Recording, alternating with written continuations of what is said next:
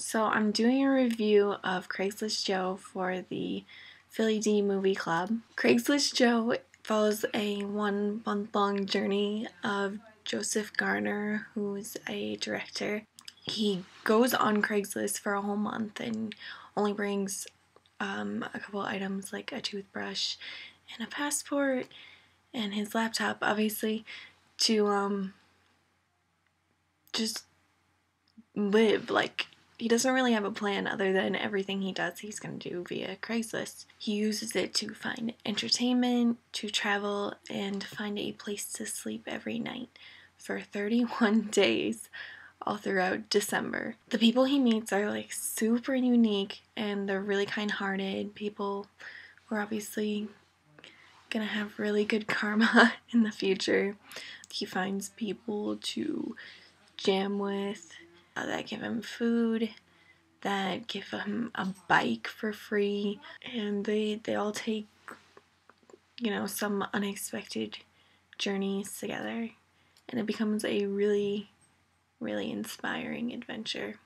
It's kind of jammed together the film because it's an entire month squeezed into an hour and a half. You can see him celebrate Hanukkah with complete strangers that he, treat him like he's family. Uh, you see him help out and volunteer at numerous places, including like a toy drive and a restaurant. He doesn't just stay in the United States, but his pathway kind of goes throughout the entire, I want to say, rim of the country. And he even stops in Mexico with some guy that he met in New Orleans who's helping with repair, even, you know, after all said and done with the hurricane that we know of. But, you know, Joseph is obviously a really kind guy because he gets really emotional looking at all the wreckage.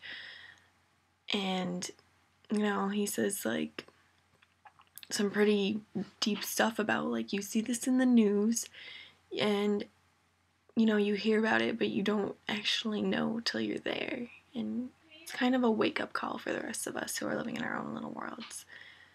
That, you know, there's more out there than what's in front of you.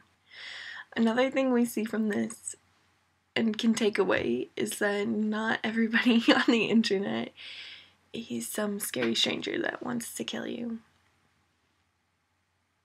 Except me.